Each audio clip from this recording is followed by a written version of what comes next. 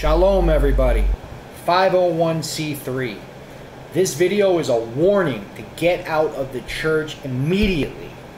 If your church has a 501c3, they have lost their freedom of speech. They belong to the state. This is when church meets state. It's a tax exemption form. Yahuwah and Yahusha are not in the churches.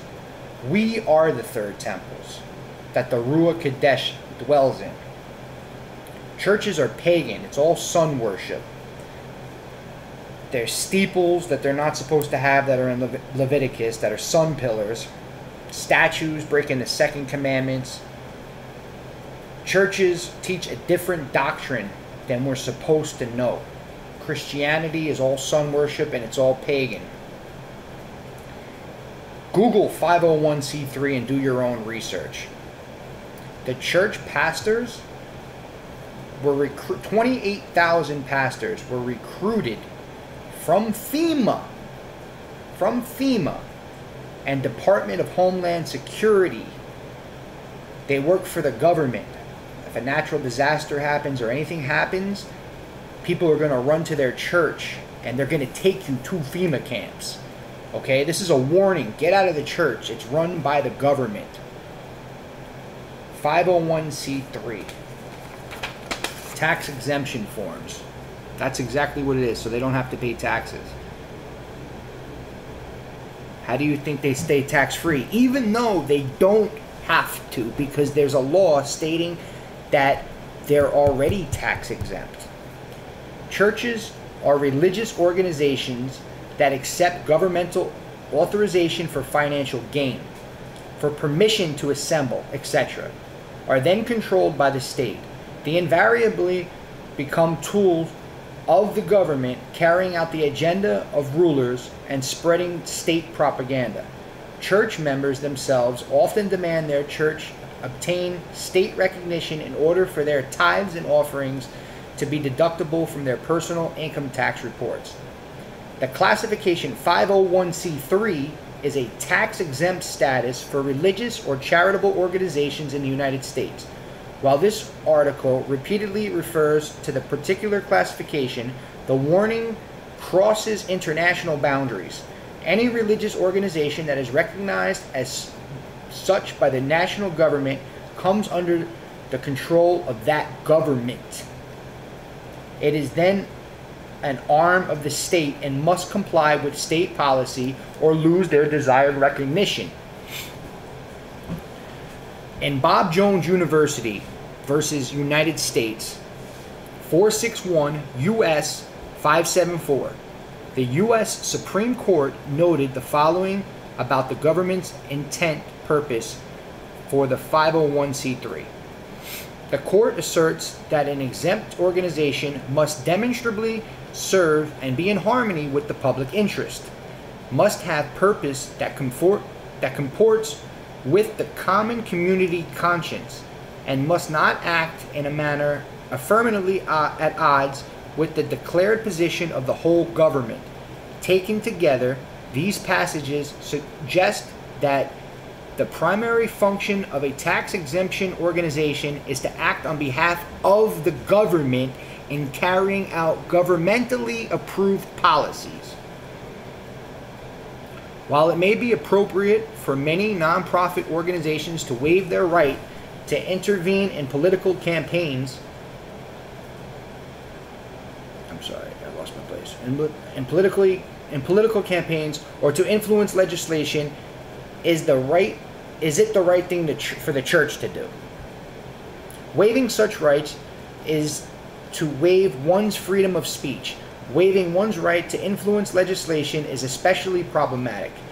The inevitable result has been that the church has abandoned its responsibility to influence their elected representatives to craft legislation that is biblical and becomes and that comports with constitution. The unchurched and even those who are openly hostile to the church have taken over that influence and are now seeing to it that their legislator craft statutes which are unbiblical, immoral, and unconstitutional. One need not look far to see the church's acceptance of the 501c3 and its significant restrictions has had devastating consequences to not only the church but the entire nation. When a church accepts the 501c3, that church waives its freedom of speech, waives its freedom of religion, waives its right to influence legislators and legislation they craft, waives its constitutionally guaranteed rights, is no longer free to speak to the vital issues of the day, becomes controlled by a spirit of fear that if it doesn't toe the line with the IRS, it will lose its tax exempt status. It becomes a state church. The church in America today is by and large not speaking to the vital issues of the day. The church has been effectively silenced. There has been a chilling effect upon the church's freedom of speech, no fear of IRS retribution should the church get out of line. The inevitable result in a moral downward spiral in the culture as the church stands mute. This did not happen by accident, but by design and is something of relatively recent design. Churches were added to IRS Code 501c3 in 1954. All one needs to do is analyze who is responsible for sponsoring the congregational bill to include churches in 501c3, and it should become apparent that his agenda was not to empower the church but to silence the church. The church is the moral compass of society. No, it's not.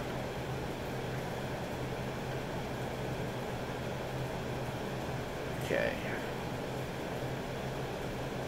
I wanted to read this to you. There we go. Submission to state for monetary gain. Churches value their official 501c3 status more than the truth as presented in Scripture.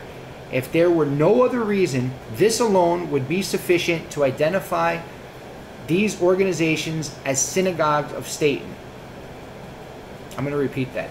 Churches value their official 501c 501c3 status more than the truth as presented in scripture. If there were no other if there were no other reason, this alone would be sufficient to identify these organizations as synagogue of Satan. But there is more. When a church incorporates a 501c3 entity with the government, it agrees to be bound by all the rules and laws governing 501c3 corporations. A church which has filed a 501c3 application has agreed to forego its constitutional right to practice religion without government interference. A church that has built boundaries around itself by 501c3 rules has contended to diminish Yahuwah's law in favor of private civil law. For example, by agreeing not to speak out and campaign against morally corrupt politicians, they do this in order to enjoy an exemption from taxes to which they were immune to in the first place.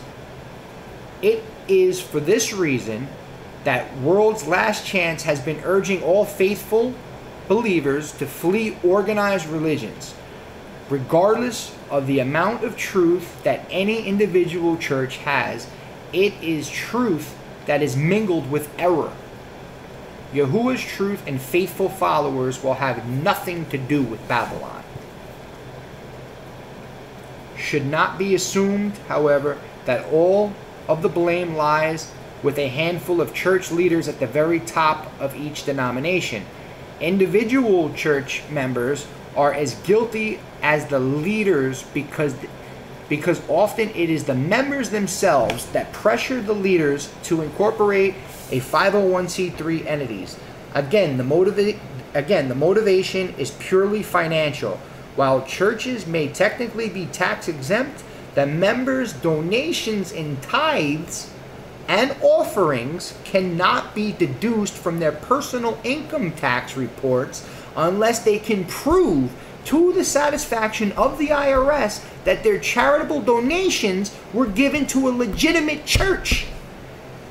Although there is no requirement to do so, many churches seek recognition of exempt status from the IRS because such recognition assures church leaders, members, and contributors that the church is recognized as exempt and it qualifies for related tax benefits.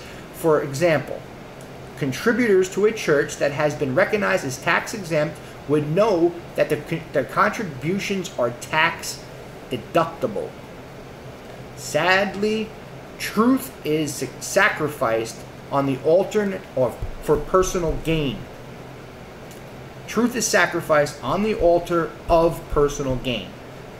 This is a vital issue to the last generation. For what shall it profit a man if he gains the whole world and loses his own soul? Or what shall a man give in exchange for his soul? Mark chapter 8, verse 36 and 37.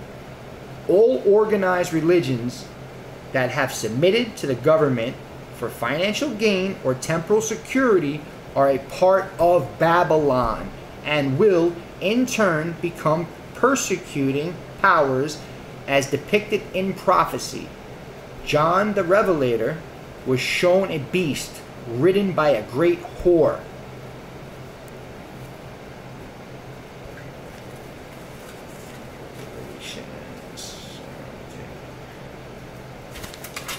Okay. And the woman was dressed in purple and scarlet, and adorned with gold and precious stones and pearls, holding in her hand a golden cup filled with abominations and the filthiness of her whoring. And upon her forehead a name written, a secret Babel the Great, the mother of the whores and of the abominations of the earth. And I saw the woman drunk with the blood of the set apart ones and with the blood of the witnesses of Yahusha. And having seen her, I marveled greatly and marveled. And I heard another voice from the heavens saying, Come out of her, my people, lest you share in her sins, and lest you receive of her plagues, because her sins have piled up to reach the heavens, and Elohim has remembered her unrighteousness. This is 501c3. Shalom, everybody.